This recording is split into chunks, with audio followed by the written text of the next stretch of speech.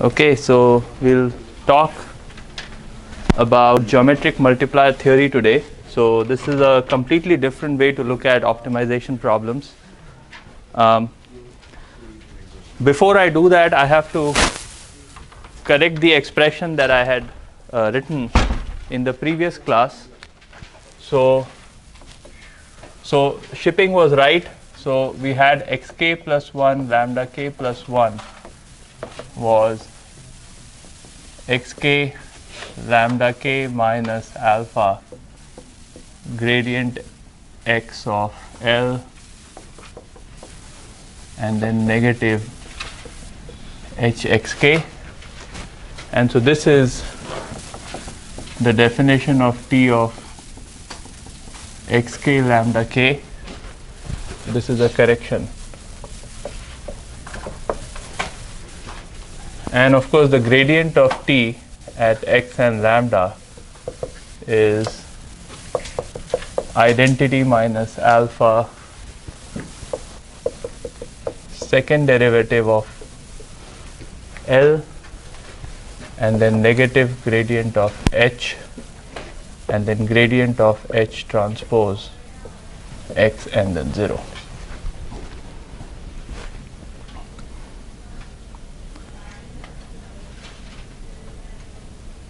I think that's what shipping, very shipping. That's what you had suggested, right? So that's this is the correct expression. And so it's the gradient of t with respect to x, is it? This is the gradient of t with respect to both x and lambda.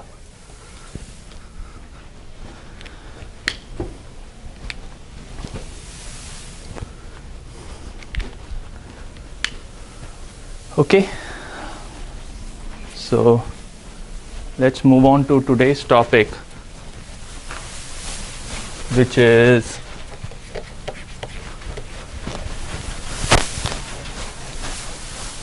geometric multiplier theorem.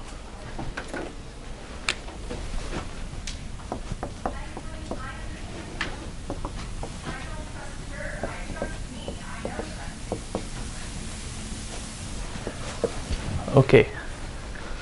So, what's the idea behind geometric multiplier theory? So, so far if you recall we started with uh, unconstrained optimization and then we came up with gradient methods. And we said look the function we want to optimize should have first and second derivative and so on and so forth. It should be smooth. Then we talked about optimization over a convex set. And then again we said that the convex set has to be such that we could solve some optimization problems over the convex set we should be able to project onto the convex set the function has to be differentiable. The derivative has to be continuous and so on and so forth. Then we talked about Kekiri theorem that requires the constraints to be regular and that required the function f to be differentiable. The constraint should also be differentiable for the Kekiri conditions to hold. Then we said let's try and come up with barrier method augmented Lagrangian method penalty function approach so on and so forth in all situations we assumed everything to be um, differentiable continuous uh, we required regularity of the points in the constraint set and so on. Okay? And those are pretty uh, pretty strong assumptions to make in many situations where you deal with problems in which the variables are integer for instance okay? So one integer one famous integer programming problem is the traveling salesman problem where you have different so this is something that FedEx or USPS solves on a day to day basis. So you have various addresses at which you need to drop the packages okay? And there is a cost of going in most situations is the time taken to move from point A to point B so you need to figure out how to schedule the path or how to schedule the delivery of packages so that you visit all the points where you need to drop off the packages and you get back to your origin uh, with minimum amount of time required to deliver the packages okay? And that's an integer optimization problem. I won't write the formulation on the board uh, but essentially the problem is of this type minimize fx such that ax less than equal to b cx equal to d x in 0 1 raised to n. Okay? And you have seen a problem like this in your uh, midterm. Does, since we're, we're talking about a geometric approach here, does this have anything to do with graph theory? No. No? No. Okay. graph theory has uh, yeah it, it's not geometric. It's a combinate it more related to combinatorics. Okay um, certainly there are graph theoretic algorithms that could solve this problem. Okay but that's separate. Okay so you have an optimization problem where the set x is not a convex set. The function is defined over a non-convex set so therefore it doesn't satisfy any differentiability property unless you expand the set to be a continuous set in which case the function might become uh, differentiable.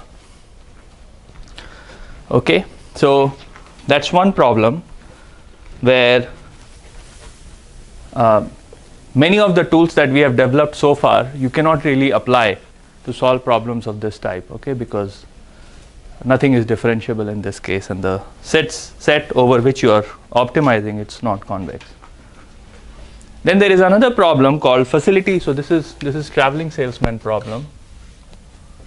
Traveling salesman problem. And then there is this another one which is called facility location problem.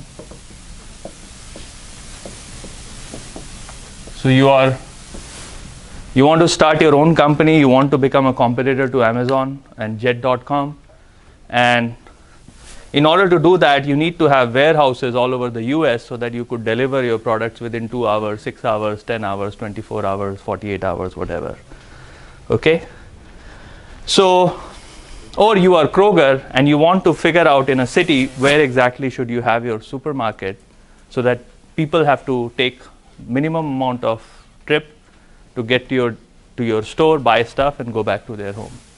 Okay? So that's a facility location problem. So again you have a neighborhood different neighborhoods and you need to figure out at which neighborhood you want to open a warehouse or you want to put up your store, you want to have your gas pump, um, or if you are in civil engineering, you want to have a sewage treatment plant so that you could have, so there is a cost. So when you want to think about sewage treatment plant in a city, you have different neighborhoods, you want to collect the sewage, so you have to lay down the pipelines for the sewages to co- get collected at one particular location.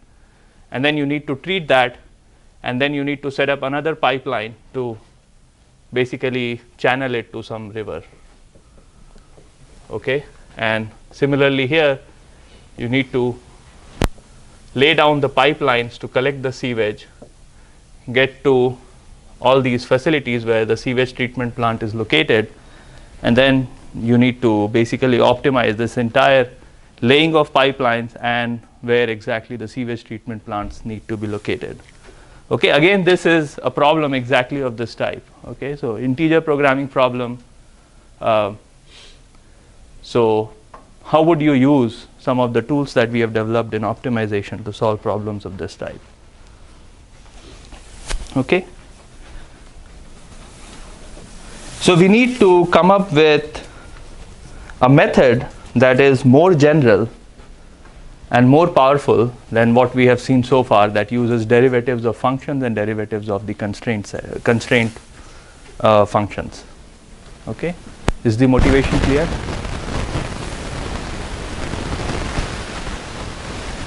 Um, even in transportation planning you need to figure out along which routes the buses needs to be picking up and dropping off passengers where should you have the pickup and drop off locations and all that. So these two problems are extremely uh, versatile problems because they appear in many areas of science and engineering um, in our day-to-day lives.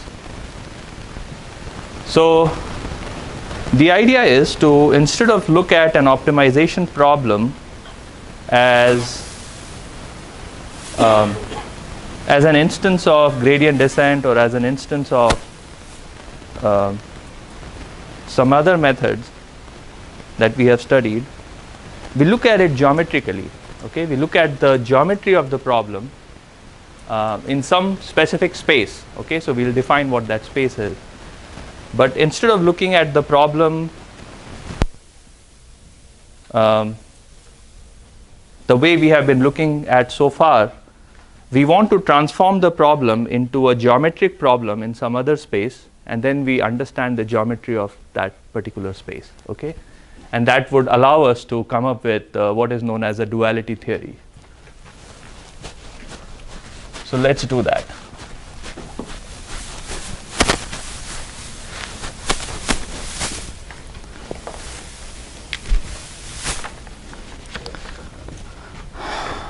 I want to solve this problem minimize fx such that x is in x gx is less than equal to 0 and let's say f star is the minimum value. The Lagrangian L of x comma mu is given by fx plus mu transpose gx.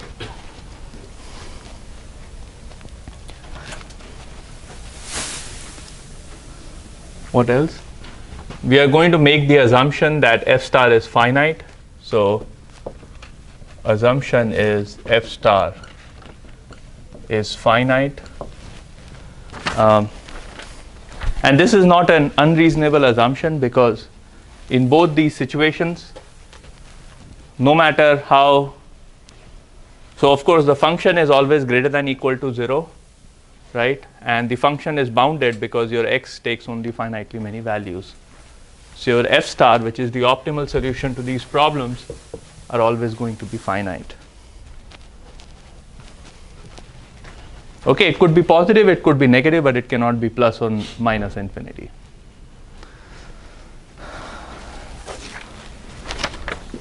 So define.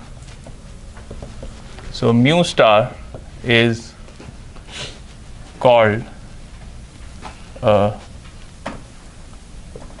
geometric multiplier if and only if mu star is greater than equal to 0 and f star equals to inf x and x L of x comma mu mu star.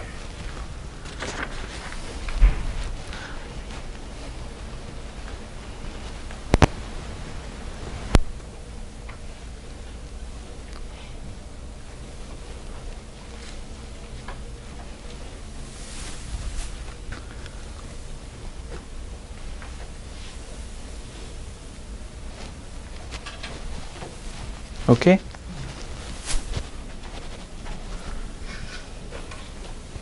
um, next I want to define the set S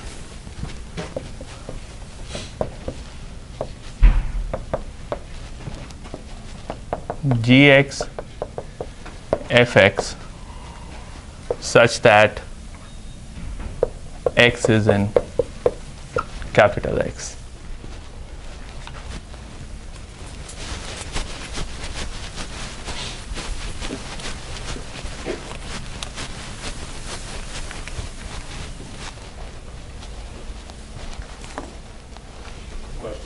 Yes.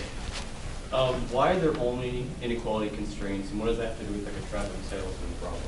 So when you have, so in this particular situation, when you have inequality, when you have equality constraint, you can have hx less than equal to 0 and negative hx less than equal to 0. So that can take care of equality constraints.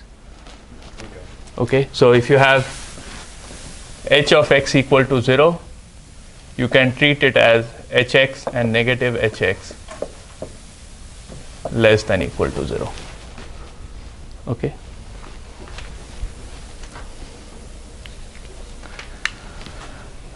Okay, so let's look at what does this set S looks like. So I have this problem, I want to minimize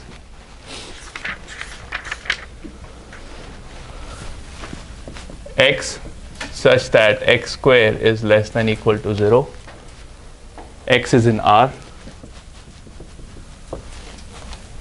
Then my set S would look something like this is my gx, this is my fx, and it looks like a parabola.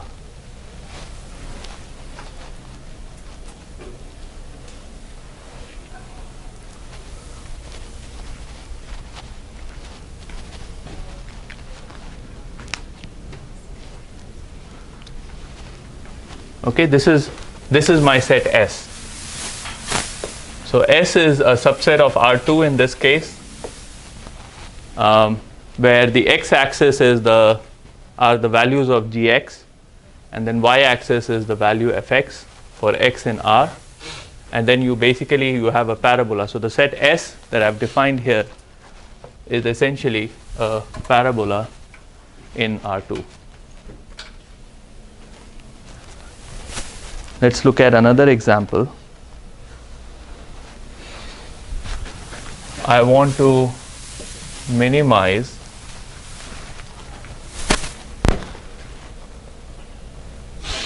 half of x1 square plus x2 square such that x is in R2 x1 minus 1 is equal to 0 oh is less than equal to 0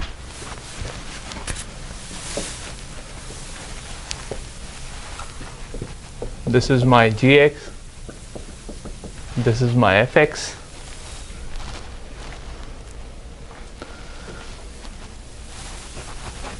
and my s is going to look something like this.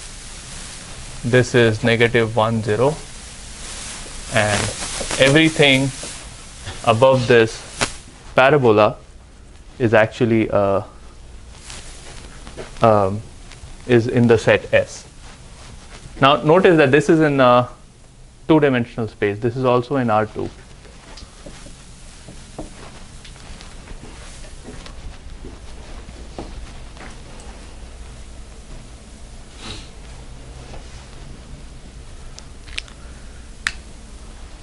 okay so in this case s was just a curve whereas in this case it's a region above a parabola. So this parabola is of course included because you have less than equal to sign here.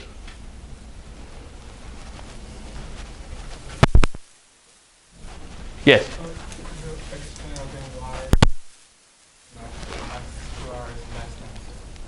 So if this one? No this one? Uh, this is just an artificial constraint. This is not a usual optimization problem. Oh, it cannot be less than 0, but it still has a set. The set S is well defined. Okay, even if there is only one point in the set, it's still well defined.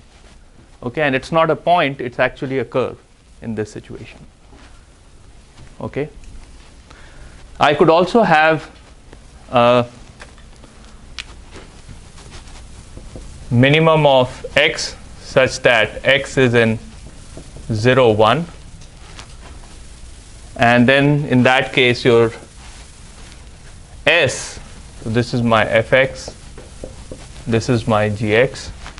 I probably want to have some constraint so let me see what constraint would make some sense oh x minus half is less than equal to 0.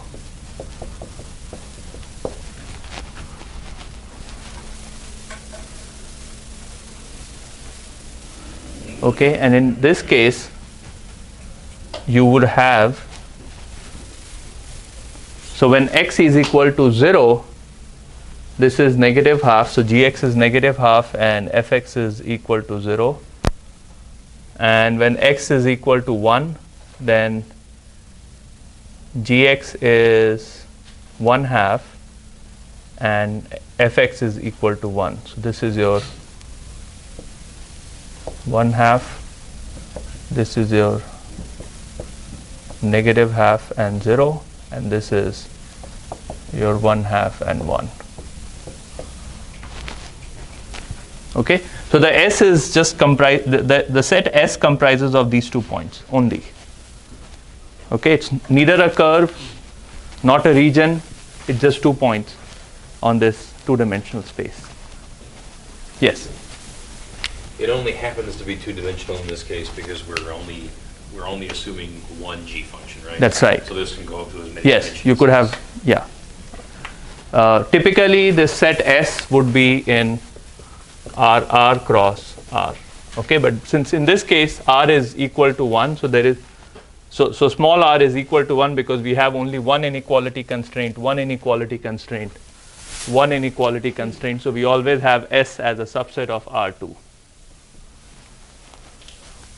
Okay, but in general, S could be in a higher dimensional space. We should understand this. When it's, when x is zero, or what, sorry, when, is that right? Wait, when x is one, then it's not less than one half, or not less than zero?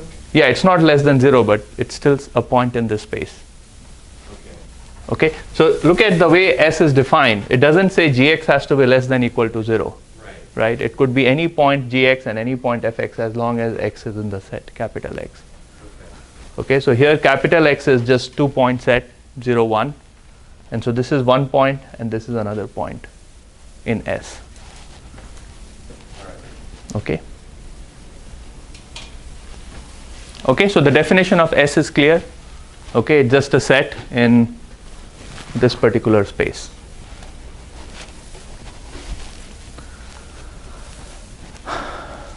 Okay, so now um, I want to talk about the concept of positive half space and negative half space.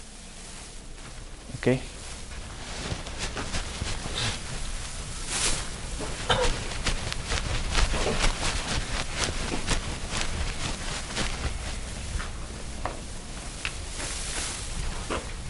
So let's say I have a line. Uh,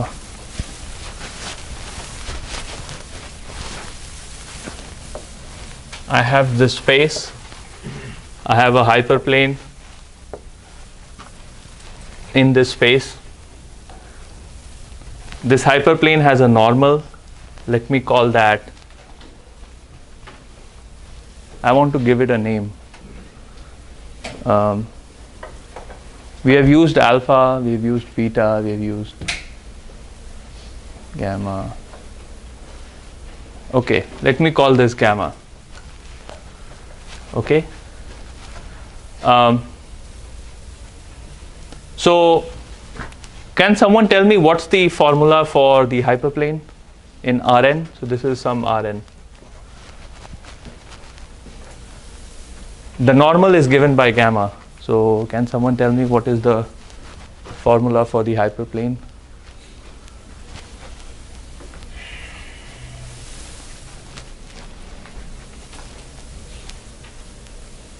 Okay, to make your life easy, let me give you a point z in this space, in this on this hyperplane. Okay, so z sits on this hyperplane. Anyone remembers? So the cross product between gamma. Not a cross product. X minus gamma transpose X minus Z. Yes. So there was a hand in, in yeah. Did you raise your hand? Uh, no, no. Okay. okay. So he says gamma transpose x minus z. Uh, you know, I don't want to confuse with this x, so let me give it another name u. Okay, so this is space u in Rn. So gamma transpose u minus z is equal to 0. So that's the formula for this hyperplane. And if you want to write it in another form, it's gamma transpose u equals gamma transpose z, which is actually a constant because z is some point in the plane, so you can pick any point.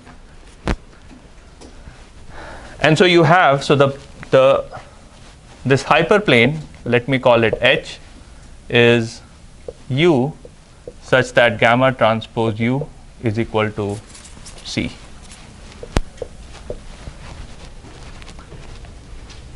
Okay, that's the formula for this hyperplane. So that's the set of all u such that gamma transpose u is a constant. Now associated with this hyperplane, are two spaces. One is the positive half space, so that's H plus, which is U such that gamma transpose U is greater than equal to C. And then a negative half space, which is H minus, which is U such that gamma transpose U is less than equal to C. Okay, so this is known as positive half space and this is my negative half space.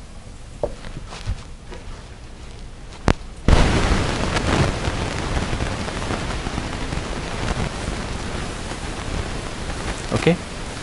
So positive half space, geometrically positive half space is the space above this hyperplane in the direction where gamma is pointing at and negative half space is the space below the hyperplane where negative gamma is pointing at okay this half space is included in positive half space and negative half space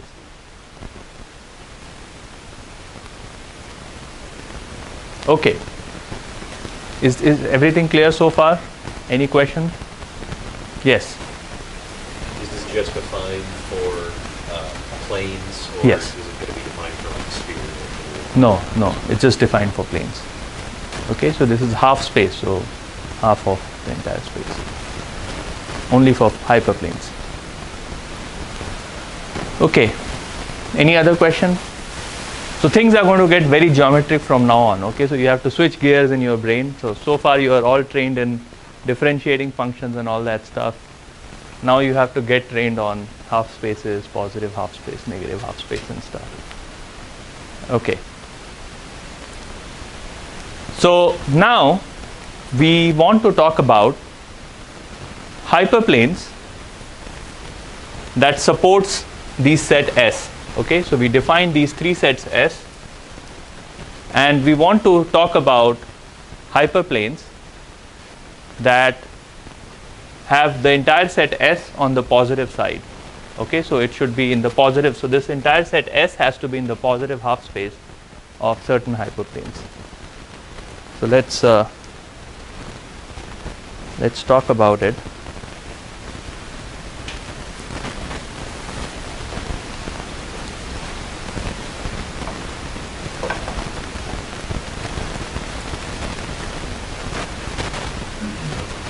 Uh,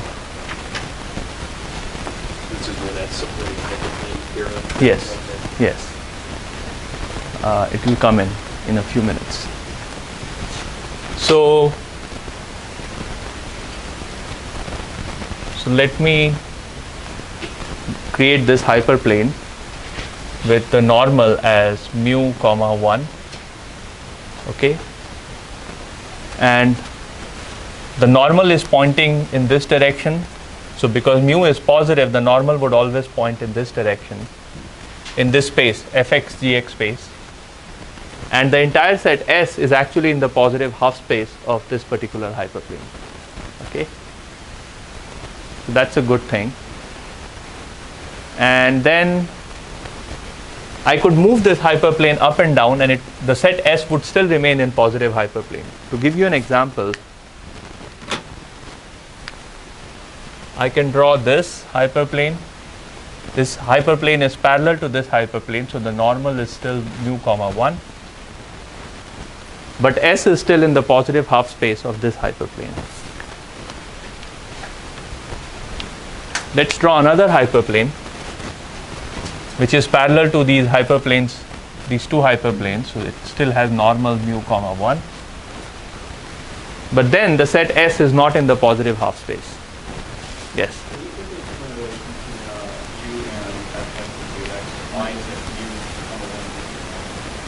Oh, I'm just picking any normal in this particular two dimensional space. Uh, so right now mu is an arbitrary choice. Eventually we will make mu greater than equal to 0. Okay. Uh, so so right now I have not made any assumptions on mu. in order to draw these hyperplanes, of course, it will turn out that these mu's are positive that are facing this direction. Uh, these mu's are negative. So this mu comma 1, this mu is going to be negative. Okay, if you just uh, write a formula for a hyperplane that looks like this, and then you look at the value of mu, it will be equal to it will be a negative negative value, whereas this mu is going to be a positive value, and a mu that looks like the, a line that is parallel to the x-axis, mu is equal to zero, and then 1 will be the outward normal. Okay, so this would be an outward normal to this particular hyperplane. So this is something that you know you will have to go back, write the equations, and then see for yourself that is indeed the case. Okay, so for this, for, for, for, for the purpose of this class, just take it for granted that these mu's are going to be positive, this mu is going to be negative, and this mu is going to be equal to 0 a mu equals infinity would be something like this.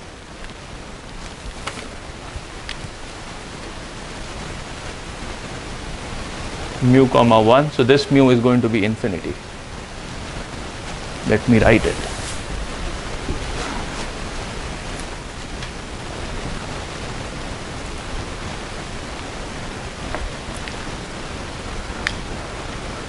Okay? Of course we are talking about two-dimensional functions right now because it's easy to two, not two-dimensional functions but two-dimensional spaces because it's easy to visualize but the general idea holds in arbitrary dimensional spaces.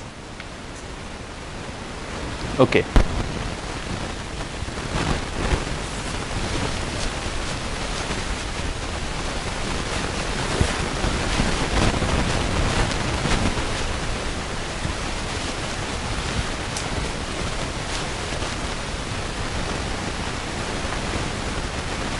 So, so I could draw multiple hyperplanes so that the entire set S is in the positive half space of that particular hyperplane. Uh, in this case, there are many hyperplanes like this, this, and this, uh, and some of which, in some cases, uh, the set S would be in the positive half space. In some cases, it will not be in the positive half space. Similarly, in this case, in this uh, particular hyperplane with normal mu comma 1, the set S, which are just these two points, is in the positive half space. Um, and you could draw many such many such lines with different values of mu. In all these cases, uh, the set S is going to be in the positive half space. Okay. So, what I am suggesting, what, what I am saying is once you define an optimization problem and once you define the constraint, you can draw the constraint and the function values for all x in the domain as a set S in specific dimension space. And then you can come up with hyperplanes so that the entire set S is contained in the in one of the positive half space. Not one of the, it's, it's in the positive half space. Okay. There was a question? No?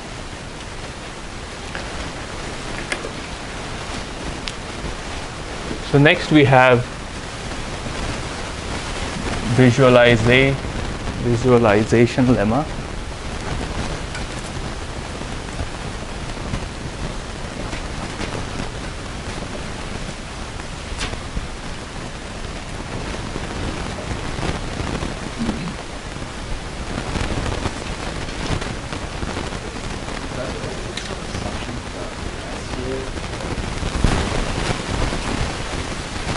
Currently S is any set.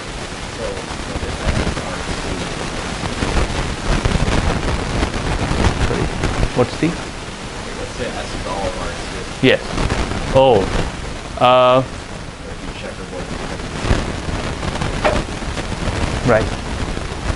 I'm trying to think in which problem would that be the case. Would that be a very trivial problem?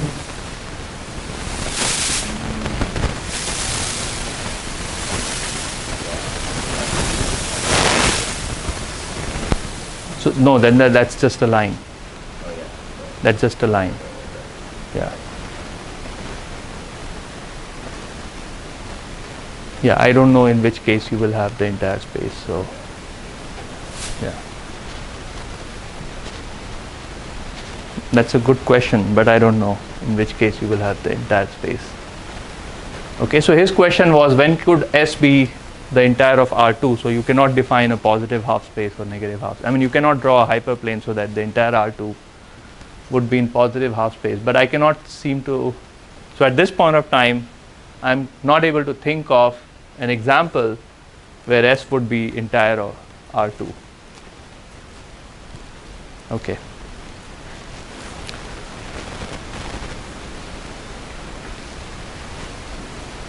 So lemma A is a hyperplane with normal mu comma 1 passing through through gx fx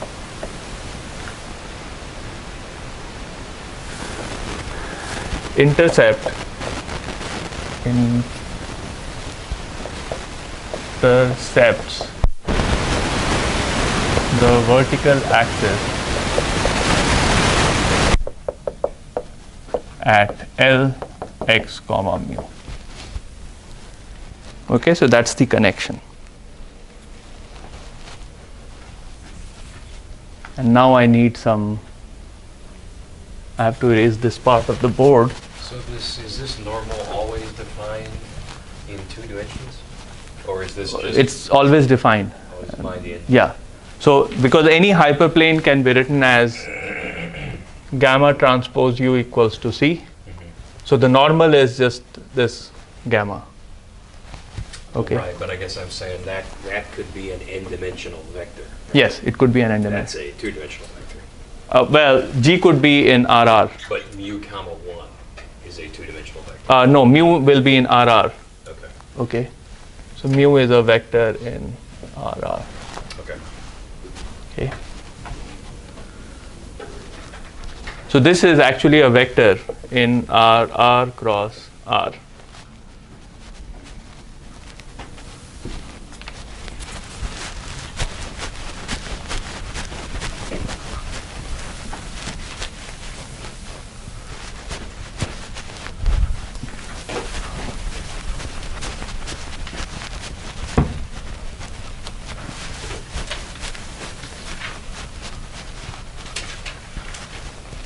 Okay. So picture.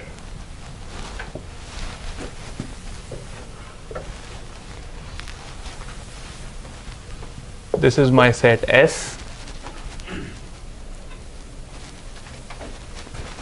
I have a hyperplane.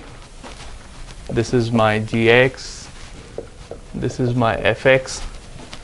I have a hyperplane with normal mu comma 1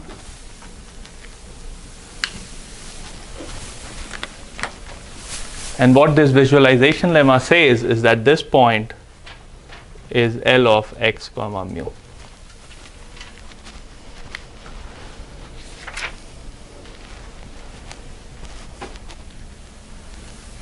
And so it's always by vertical axis, you mean it's intersecting the f-axis.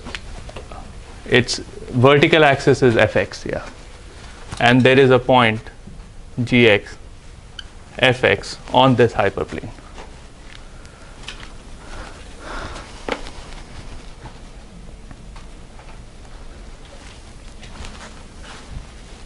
Okay, so is that, yeah. So is this saying um, at x star mu star, then the half positive half plane will include all the values greater than the max the optimal value, it the vertical axis? Is that what I'm saying? Uh, we will end up saying something like that. So you are all along the right track. Okay. Uh, at this point of time, I haven't made any statement about the optimal value, but that's exactly what Is I will make. us like converge to the right point? Is that what I'm saying? we are not talking about convergence yet okay We are getting into that point maybe two, three classes later on. Okay? So, all I am saying right now is I have a hyperplane with normal mu comma 1 and there is a point gx comma fx on this hyperplane. Then if you look at the y-intercept, it's actually equal to lx comma mu, okay, which is given by this expression. And that's because remember this gamma transpose mu, no, gamma transpose u equals to gamma transpose z.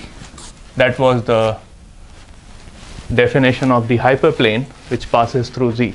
So that's exactly what uh, this is saying. Part B of the visualization lemma is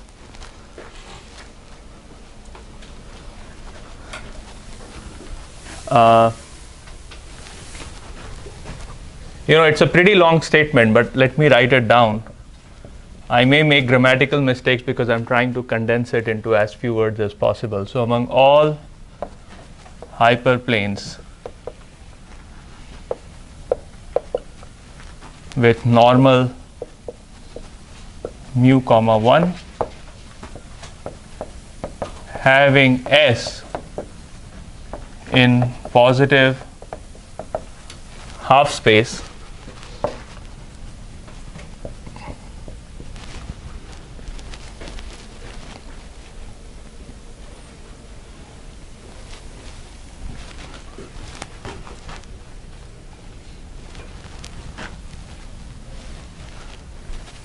the highest attained interception the highest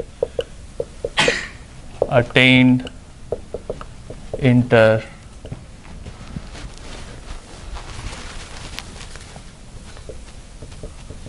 highest attained vertical intercept is inf l x comma mu x is in capital X. This is the important part.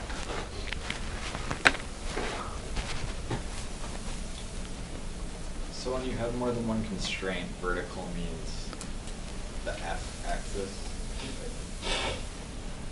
You have more than one constraint. So this is two dimensional. Right. But in general, what is vertical? Oh, vertical means this fx. Okay. Yeah. Vertical means the fx intercept. Okay, so whichever that axis is. So what what am I saying here? So I can have many hyperplanes that has s in the positive half space with the same normal as mu 1. So I have this. I have this okay and I have something like this all of them have normal mu comma 1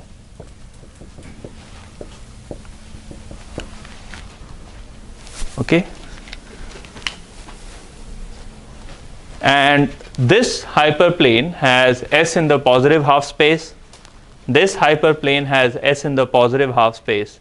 But as soon as I translate this hyperplane a little bit more then s is not in the positive half space. There is some amount of s in negative half space, right? So that's this line, and then of course you have this line which is passing through gx comma fx. So what part B is saying among all hyperplanes with normal mu comma 1 that has s in the positive half space, the highest attained vertical intercept is the inf of lx comma mu, and that's this point. So this is inf of L x comma mu where x is in capital set X.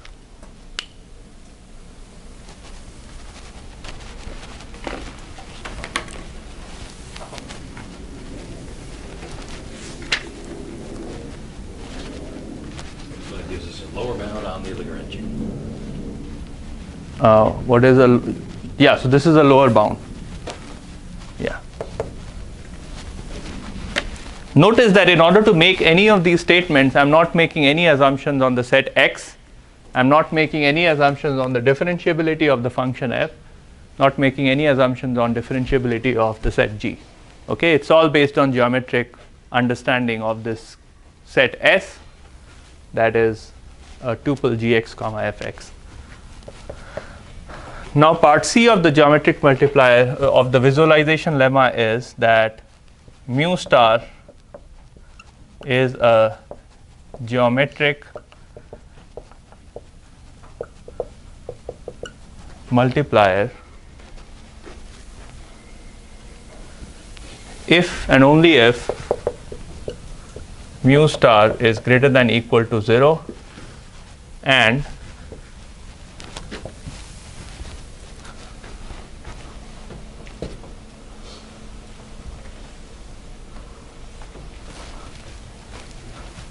uh, okay it's it's also a long statement. So let me again try to rewrite it uh, with some grammatical mistakes. So mu star is a geometric multiplier. If mu star is greater than equal to 0 and among all hyperplanes with normal mu star comma 1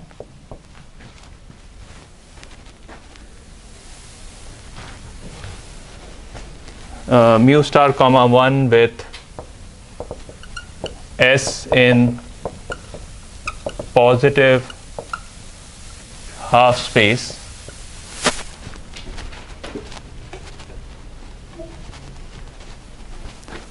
The highest level attained.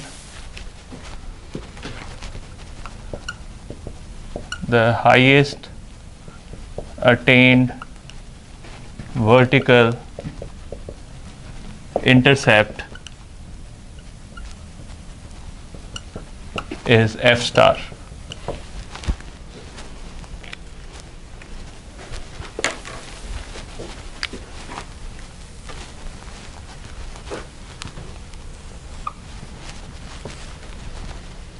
Okay, so I've underlined all the important parts of the statement.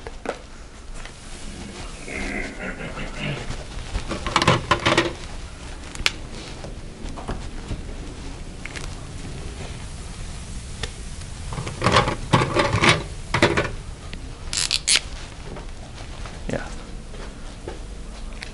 Okay.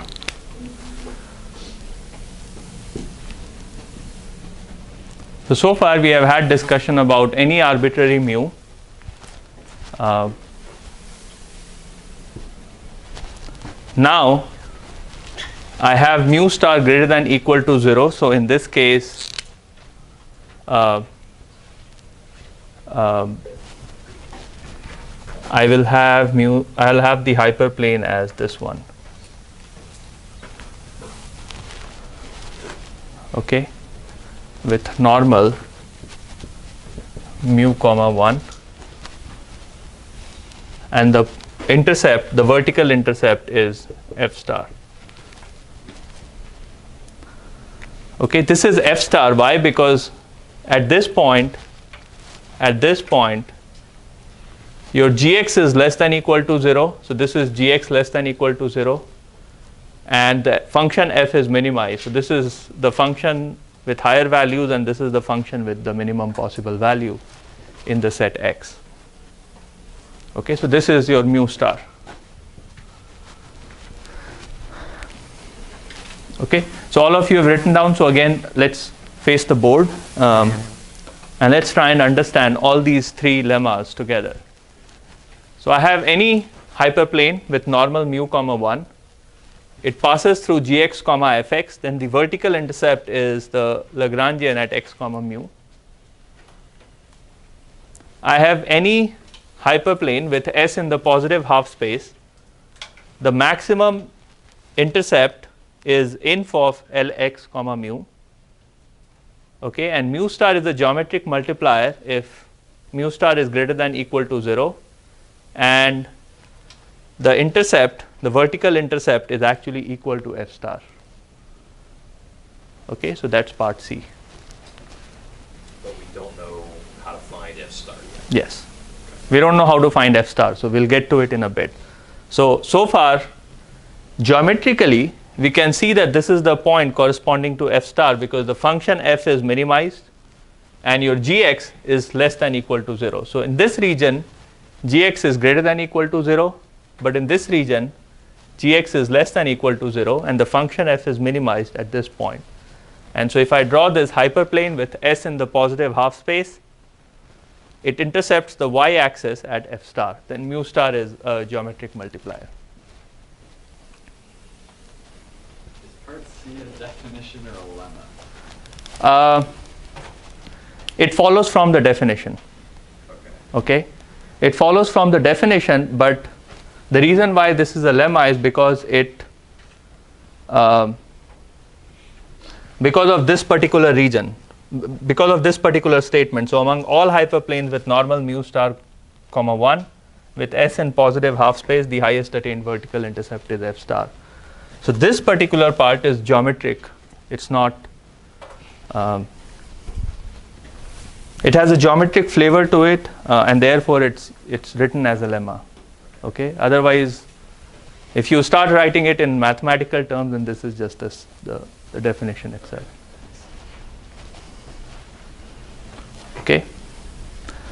But this gives you a geometric intuition behind the definition itself. Yes. You said the intercept between the, the mu, the, the point between the, the hy- hy- hyperplane and the, the circle is uh, x star, that purple no. Yes. On the, on the left, Here. yeah, is that the x star? Oh, so this would be, uh, yeah, so that's a good point. So what is this point? This point is g of x star, comma f of x star. Okay, so this is the, It is on the um, left half plane, yes. that means g x star is less than zero. Yeah, because this is the origin, so this is, Is it guaranteed that it will be on the left? no, it's not. Okay. Um, let's see where this uh, part C would fail. Okay, so maybe that would uh, give you a situation where uh, it may be difficult for this particular condition to hold. Uh, let's say my S looks like looks like Africa. Okay. Uh, in this case, in this case, um, what is the optimal solution? Well, gx has to be less than equal to 0, so I have to concentrate in this half space. And your function f has to be at the minimum value. So that's this point. This is your gx star, comma fx star. And this is your f star. This is your optimal value f star, y intercept. But if you draw a a hyperplane with S in the positive half space, then the hyperplane would look something like this mu comma 1. Okay, so there is no way you can draw a hyperplane that will have S, this, this is your region S. So you will have S in the positive half space and your y-intercept is going to be f star. Okay, there is no such hyperplane in this situation if your S looks like this. Um, So does that mean that there is no geometric multiplier? that means that there is no geometric multiplier in this case. Okay, so let's try and draw different hyperplanes just to be able to find such a hyperplane. So if I do something like this, it cuts. So your S is not in the positive half space. If you do something like this, um, then also S is in the positive half space, but your intercept is actually much lower than this intercept, which is probably the tightest intercept that you can get. So in this case, there is no geometric multiplier. Okay, so you might as well have some optimization problems where there are no geometric multipliers. Okay. Oh, the time is over. I, I had just started. Okay. Anyways, uh, I thought I have another 20, 30 minutes to go. Uh, anyway, so we will continue our discussion on visualization lemma and uh, weak duality theorem in the next class.